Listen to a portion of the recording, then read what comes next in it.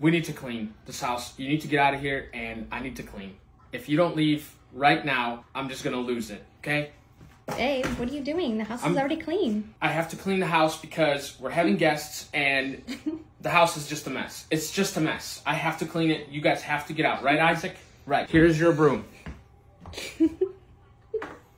Do these shoes go here? Do these shoes go here? Why would you put these shoes here? What do you even eat? I'm gonna put you on a diet. I've never seen you poop, but I'm gonna put you on a diet because I don't even know how the. Does your arm just go limp halfway? Like, what is going on? Why can't. Look, just like this. It closes just like that. Look, open and close. We have to dust everything because you see. The you see house this- is done. The house is already clean. You see this dust? You see it? Because I don't want our guests seeing this dust.